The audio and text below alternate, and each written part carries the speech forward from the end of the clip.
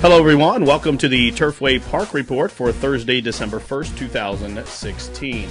Nine live races on the card. The polytrack is fast. The first race is a claimant event for the boys, which have never won two. The claiming price $5,000. They'll go five and a half furlongs. Scratch numbers four, eight, and 10. Heavy favorite number 12. He's a dandy candy. And they're off. And the favorite, he's a dandy candy, broke well, also through between horses. It's Abran Paso. Down the inside, Hello Glory, and closest to the rail is Ransom Love. So it's a hot and contested pace. There's about six of them within three and a half lengths, but it's Ransom Love who has cleared. Being ridden to keep pace right alongside is Hall O Glory. The gray is the favorite. He's a dandy candy who's racing in third position while in the clear. Then a link for the back. Abran Paso rides the rail there in fourth, about to be passed by SS Astonishment as the field makes their entrance into the turn. The opening quarter was timed in 22 and 3. It's Ransom Love and Ty Kennedy shows them up top. In the middle, Hall of Glory. Here comes the favorite looping up to the outside. He's a dandy candy in about the five path and running on from the back. Both Indy Rhythm and Ben catting around as they straighten for the stretch run. It's Ransom Love, but the favorite, he's a dandy candy, bearing down to the outside, 116th left for Ransom Love, but he's a dandy candy, just went right on by, and he's a dandy candy for the Doug Danner barn, is going to not disappoint as the even money favorite. Late charge from Indy Rhythm to be second. Ransom's Love, the pace setter, was third, tight for fourth, 104 and two. Number 12, he's a dandy candy, stalks the pace and runs down the pace setter late to win going away for Doug Danner, owners Tom Bedkepper and Jerry Geisey. The favorite, number 12, he's a dandy candy, returns 420, 260, 240. Second was the 9, Indy Rhythm. Third, number 1, Ransom's Love. And fourth, the 11, Ben Catton Around. The win in exacta was 12 and 9. That returned $27. The trifecta $120.40. And the super $770.60. Running time for the opener 104 and 4 fifths seconds. Tonight's second race is a claimant event for the boys that haven't won a race since last December. They'll go one mile, scratch 1, 11, 13, and 14. The morning line favorite, due to those scratches, was number 5, Cozy Kitten, and Bug Boy PD Prentice looking to sweep the early daily double. Riley Cox. They are off, and the starter caught him in a perfect line. It's our bailiwick being hustled on out. There goes he's a cut above is going to try to clear, but being uh, kept honest by Silent Secret through from the middle. Happy Fella and Rue well bunched and some bumping back in the middle there. I think Happy Fella might have took the worst of it as they're midpoint through that clubhouse turn. It's our bailiwick shows him up top. He's a cut above right alongside. These two duke it out early as they pass the six furlong marker to straighten up on the back stretch. They're four links clear of Rue who rides the rail in third. Silent Secret right to that outside in fourth and separation of about six or seven lengths back to once in my lifetime who was two in front of Happy Fella. Going for a run on the middle of the track, the favorite, Cozy Kitten, has about 12 links to find. He's one in front of Imagine That Mom, and the two trailers are Ghost Chapel and Charlie St. Gold. The first quarter was 23 seconds flat. The half mile timed out 46 and a 2. So tepid pace up front for our bailiwick. He's a cut above, being ridden to keep pace. Here comes Rue, gears up to the outside. Separation of two to Silent Secret, and then a link for the back. Here comes the favorite, Cozy Kitten, has switched to the middle of the track, and it's absolutely full of run outside the quarter pole. Up top, it's our bailiwick. He's a cut above. Now Rue turns the pressure up, set to go four wide. The favorite, Cozy Kitten, yellow cap, as they straighten for the stretch drive. Once in my lifetime, saved all the ground by the 316 bowl. Once in my lifetime. Here's Imagine That Mom presents a challenge between horses. Rue to the outside. A cozy kitten, wide open deep stretch. Imagine that mom's found the front. Rue resurging to the outside, down towards the line photo finish that went to Imagine That Mom, I believe, just over Rue. Then came Once in My Lifetime. Cozy Kitten, a favorite, was fourth, 138 flat, the running time. Driving finish in race two, number seven. Imagine that mom emerges from between horses and gets up right on the square to win for owner trainer Monica Crewman. Thirty dollars forty cents, twelve sixty, and five twenty. Number three, Rue a game second. Third, number ten, Once in My Lifetime, and fourth, number five, Cozy Kitten. The 7-3 exacta, 261.60. The trifecta for a dollar, 2,933.20. Superfecta for a $2 wager, $9,778.80. The early daily double combination of 12 and 7 returns $52.80. Running time for race two, 138 flat. Today's third race is a claimant event for the fillies and mares. Never won two. The claiming price $5,000. They'll go one mile. Early scratches of number 8, 13, and 14. The morning line favorite from the Ben Colebrook stable, number 10, Secret Trick with Ty Kennedy. And they're off. It's Sunday Look who's quickest out, but there goes Secret Trick up to contest the pace. And down on the inside, there's several horses had to check there as Secret Trick came down and tapping on the brake Sunday. Look, Miss Del Star and Miss Liz, favorite, were all affected as they're midpoint through the opening stages. But up top, it is Hang On Annie who shows the way. Ready Money right there in second, a length for the back. It's a True Vision in third. Secret Trick, the class chopper, is fourth as they straighten up for the backstretch run. A length in front of the favorite Ms. Liz has recovered to be fifth. She's only three and a half lengths off the pace, and two in front of Miss Delstar, who races in the clear just to the outside of Sunday Look. A length and a half further back suits my fancy. Out in the center of the track, races in the clear. A length for the back to Patsy M, and at the tail of affairs, Scrammy can see them all. 23 and 2 the time for the opening quarter of the half mile clicked out in 47 and 1 so it's hang on annie shows them up top. Here comes ms liz prescott sitting like a statue and getting to her with every stride as they're just by the 3 8 pole so still, Hang On Annie has been on a clear and uncontested lead thus far. Ms. Liz now the whips out. Here comes Secret Trick revving up to the outside. Down to the inside is a True Vision. And Suits My Fancy is beginning to uh, kick it into top gear. Three quarters, one, 12, and four. And they're on their way home. Hang On Annie drifts out into the path of Secret Trick. Miss Liz dives down toward the inside. A True Vision down along the inside, fourth. Late run from Sunday Looking. Suits My Fancy. Deep stretch. Hang On Annie has just been inhaled by Secret Trick trying to re-rally Hang On Annie, but Secret Trick just too good. Secret Trick wins it by about a length and a half in the end. Hang On Annie was second. Third goes to Ms. Liz. Late charge from the back of the pack. Patsy M finished fourth. Hold all tickets. The inquiry sign has been posted. Number 10 Secret Trick hit the wire first, but there was a steward's inquiry into the first turn run. Number 10 Secret Trick came down, impeding several horses, and was placed 10th.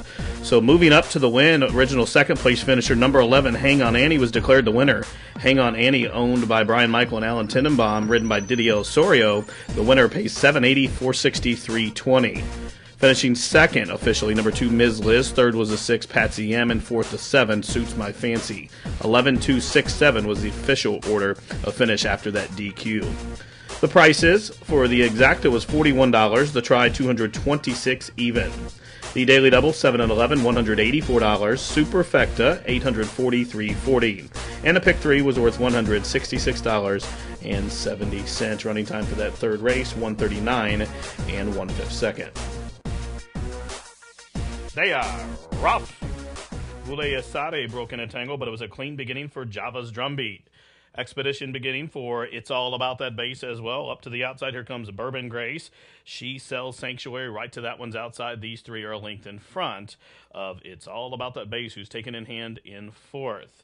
As I Charge, in Perry Ouzts' fifth mid pack, about six and a half off the pace. Then a link for the back to Blame the Dream, the favorite has seven and a half links to find. Voulez Assoir is last of them all. First quarter, 23 and 3. So it's Java's drum beat, and she sells Sanctuary. Lead them up the backstretch charge in front by a length and a half as I charge. Racing a close up second. The favorite, Blame the Dream, is inching all the way up into fourth. She's about two and a half lengths off the pace. Going to have to try to get off that fence there as Java's drum beat's backing right up into her. A link for the back. It's all about that bass. And underway from the back of the pack, here comes 16 time starter Land as the half mile timed out 47 and 2. So it's She Sells Sanctuary has shaken off Java's jump beat as I charge his third. Here comes the favorite Blame Dream uh, moving between horses and up wide for the drive. It's all about that bass as the complexion of the races changes, she sells Sanctuary, going out towards the track kitchen, leaving the rail open for Blame the Dream, and Blame the Dream comes right on through. Blame the Dream with 3 16ths of a left has the lead by a length. Here comes Land diving down towards the inside. It's either Blame the Dream or Land. Wide 7 8s in 125 and 4, and Blame the Dream at 3 to 5 is going to get it done here. Blame the Dream on the class drop is going to win by about 6 in the end. Land was second, then come It's All About That Bass and She sells Sanctuary, faded to fourth, 138 3. The favorite, number four, Blame the Dream, was stalked the pace, allowed to settle on the backside, and made a big run through the turn and to win, going away on the class drop for owner Connor Murphy and Riverside Bloodstock. Julie Burke was aboard for the winning ride. 340, 240, 220. Second was number three, Land. Third, number five, It's All About That Bass. And fourth, the eight, She Sells Sanctuary. The Super, 528.20. The Pick 3, 168.20. Trifecta, 29.80. The Exacta, $22.80. The Daily Double came back $15.80. Blame the Dream covered the mile in a winning time of 138 and 3 fifths seconds. Tonight's fifth race, a claimant event for the maiden fillies and mares. They'll go five and a half furlongs, no program changes. Heavy favorite, number three, Directioner with the Bug Boy, P.D. Prentice. And they're off. Gift of Friends broke like a shot, fast beginning for Directioner, and now Directioner will take over and assume command. Oropa racing up to the outside of that one. A link for the back to the pair of Swedish Flower and Gift of Friends is backpedaling there into fifth as Little Shimmy just went by her, as did Tyrannus Edith Stall, and way out at the back of the pack is Selburn Sally. Up the backside they go and head into that far turn. In Oropa, the Indiana bred, who took all the early money, has cleared off and opens up midpoint through the turn by two. Directioner, the favorite, could not keep pace. Little Shimmy running on from the back. And then comes Swedish Flower, but at the top of the lane, it's Oropa, the three year old daughter of Mondavi, is going to go by the quarter pole with a six link cushion.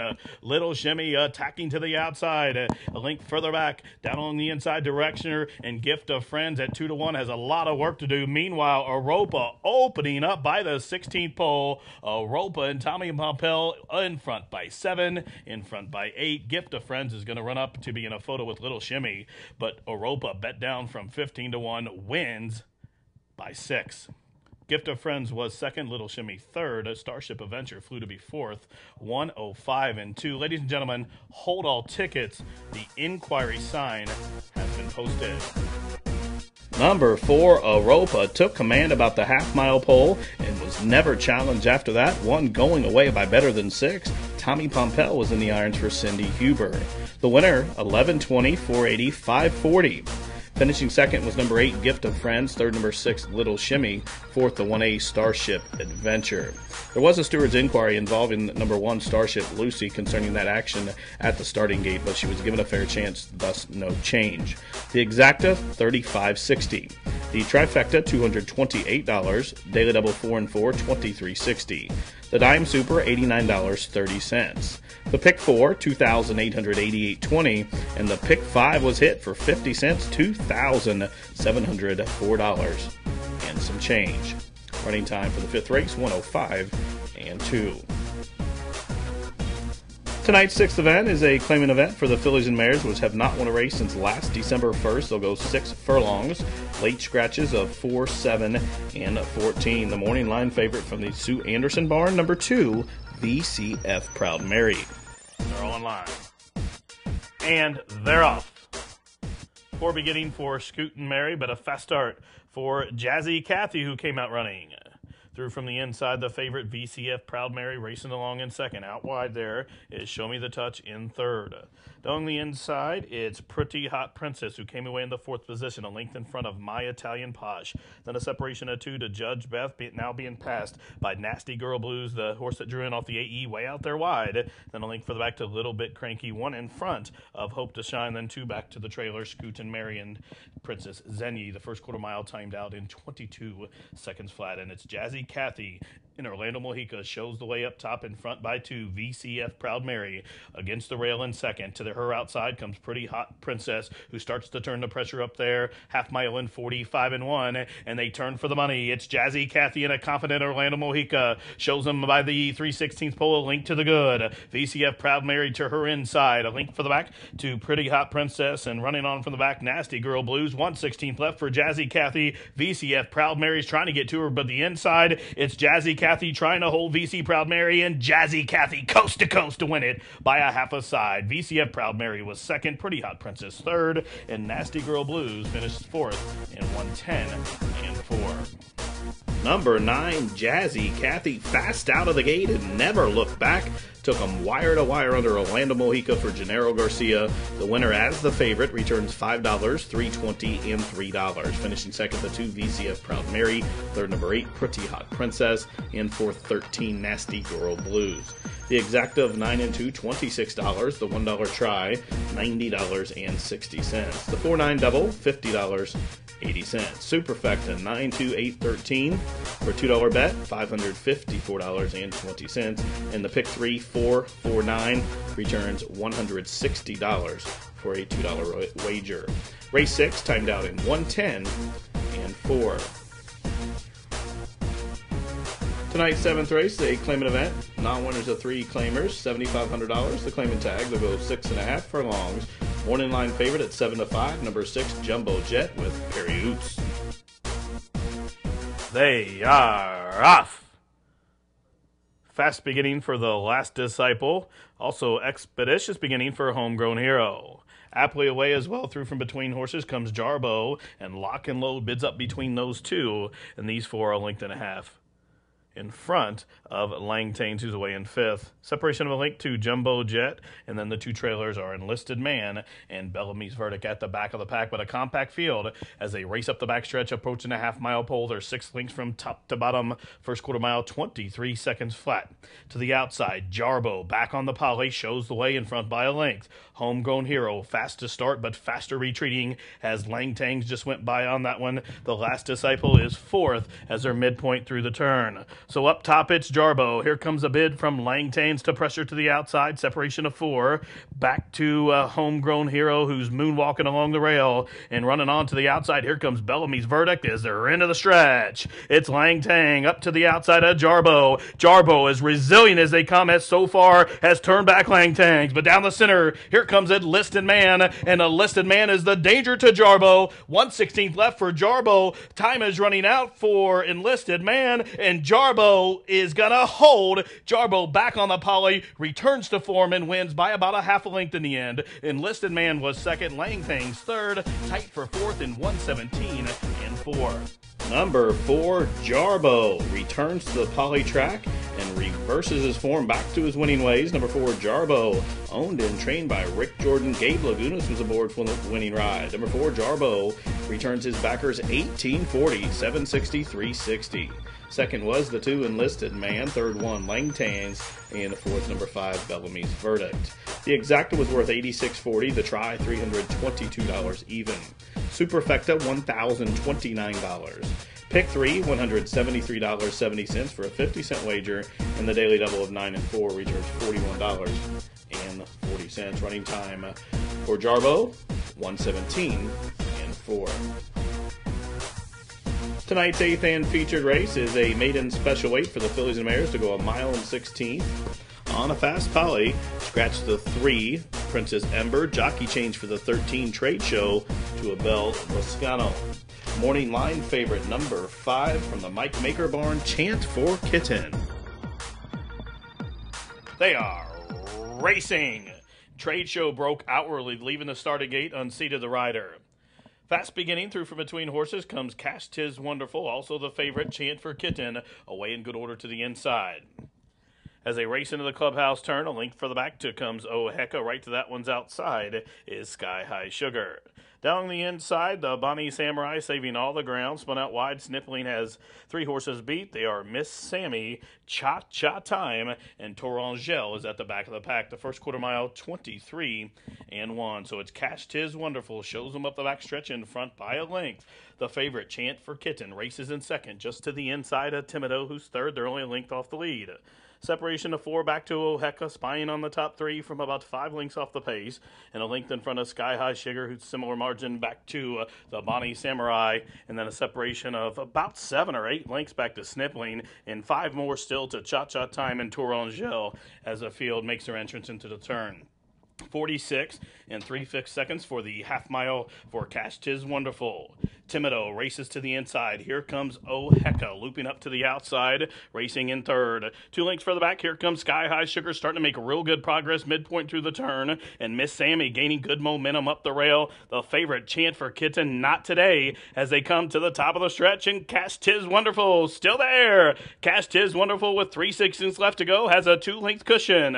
Oh Hecka bids up to the outside, to the inside. Timido down the center of the track is one sixteenth left for Cash Tis Wonderful. Oh Hecka lunging. Here comes Snipling from absolutely nowhere, but Cash Tis Wonderful walks the dog. Another one for Pompell on the front end wins by two and a half. Snipling was second. Oh Hecka was third. Tight for fourth between Timido and uh, Sky High Sugar.